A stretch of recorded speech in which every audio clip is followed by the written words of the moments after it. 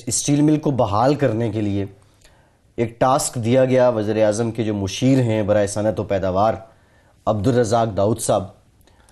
वो अक्टूबर की काम किया। जी। तो वो काम किया अभी आपने जो क्लिप देखा हम्म। उसमें असद उमर साहब कह रहे हैं कि बहुत सारा काम हो चुका हुआ है। हम्म। और वो नवंबर 16 का क्लिप बहुत सारा काम हो चुका हुआ है। तो फिर अभी वो कुछ चीज़ सामने नहीं आ रही। हम्म। अच्छा अगस्त की अगस्त 2018 पीटीआई की हुकूमत बनती है। पहली रिक्वेस्ट जो बोर्ड ऑफ़ डायरेक्टर है आ, स्टील मिल का वो इनको रिक्वेस्ट भेजता है कि भाई खुदाया हमें एक चीफ एग्जीक्यूटिव ऑफिसर लगा दें और एक चीफ फाइनेंशियल ऑफिसर भेज दें ताकि हम काम शुरू करें। ये अक्टूबर इकतीस को वहाँ से एक रिक्वेस्ट आती अभी तक पूरी नहीं हुई। ठीक। अभी तक वो दरखास्त पूरी नहीं हुई। फिर अक्टूबर की इकतीस तारीख को डीलिस्ट किया जाता है कि इसको हमने प्राइवेटाइज नहीं करना ठीक हो गया।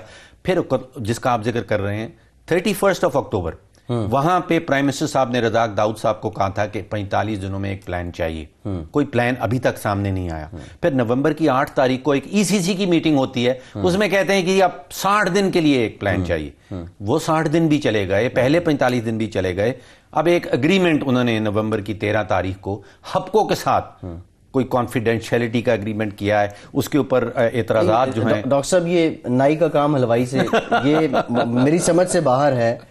अब हबको स्टील मिल्स की बहाली के लिए क्या करेगा? मतलब हबको मतलब वो तो पावर की कंपनी है वो बिजली बनाते हैं। वो बिजली वाला ना वही जिसका काम उसी को साझे हम सुनते आए हैं। ये मतलब इसके पीछे जो मीडिया में रिपोर्ट हो रहा है जो हमारे पास इतलात हैं वो अब्दुल रजाक दाऊद साहब ने अपने दोस्तों को नवाजने की कोशिश की है बड़ा कैटेगोरिकली लेकिन अगर ये दोस्तों को नवाजना ही है तो फिर स्टील मिल्स बहाल कैसे होगी? तो पीपल्स पार्टी भी यही किया करती थी पीएमएलएन भी यही किया करती थी। पीएमएलएन भी यही करती थी। हाँ वो एक कारीगर तरीके से करते थे आप तो सरेआम कर रहे हैं। लेकिन ये स्टील मिल्स की बहाली के लिए ये ये बहुत बड़ा सवाल है इसका एक सवाल तीन तीन सवाल बनते हैं बड़े तीन सवाल बन पहला ये कि वो 45 दिन का प्लान वज़ीर आज़म साहब ने कहा था उसका क्या बना हम्म।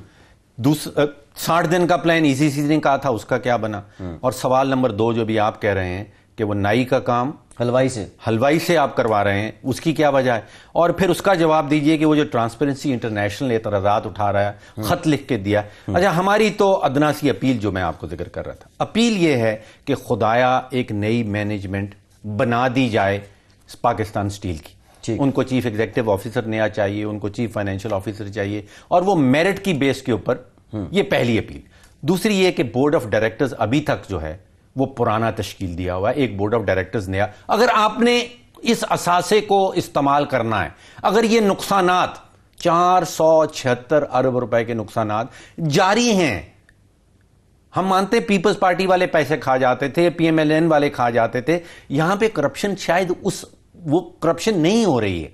लेकिन नुकसान तो जारी हैं। लीकेजेस को भी तो नहीं रोका लीकेजेस को नहीं रोका जा रहा। हम्म। अच्छा फिर ये चार सौ छिहत्तर अरब रुपए का एहतसाब भी तो लेना है। ऑडिट हम्म। करें इसका उसका ऑडिट करवाएँ हम्म। तो तीन अदना सी हमारी हमारी दरखास्त एक तो नई मैनेजमेंट नया बोर्ड ऑफ़ डायरेक्टर्स और जो चार सौ छिहत्तर अरब रुपए का नुकसान है हम्म। उसका कोई एहतसाब